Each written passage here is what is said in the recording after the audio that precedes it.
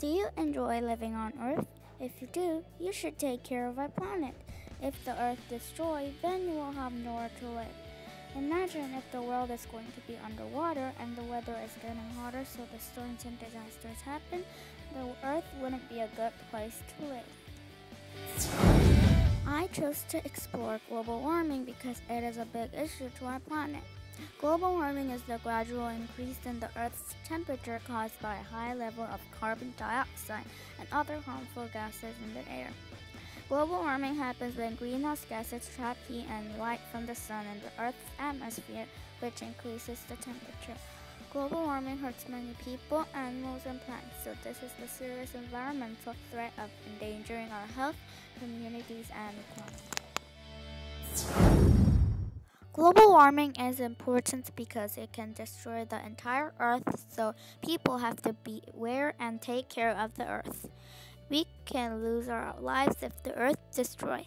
Scientists haven't found any planets that human can live in. If 4 degrees Celsius increases, increases, it will be totally underwater, such as low lighting lands, Mumbai, India, and Durban, South Africa. Global warming has impacted people, places, and animals. Global warming destroys the ecosystem, so it is hard for the animals to find food. Animals become endangered or extinct. Polar bears and penguins don't have place to live because the ice is melting. Destroyed ozone layer can allow more ultraviolet to reach the earth, and it causes an increase in skin cancer or eye disease. Carbon dioxide comes from factories, cars, and burning things. The carbon dioxide causes air pollution. Our exploration of global warming has changed over time. Scientists were keeping track of the weather and they said that the Earth will likely be 1 degree Celsius higher in 2015.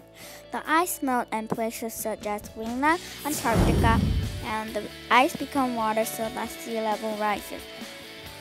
The Earth's weather will become much more violent. We would have many more terrible storms and disasters, for example, like tornadoes and droughts.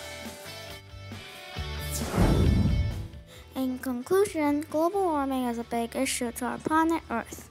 What if you don't have a place to live? People explore and study global warming because people have to know what global warming is so they that they can help stop global warming.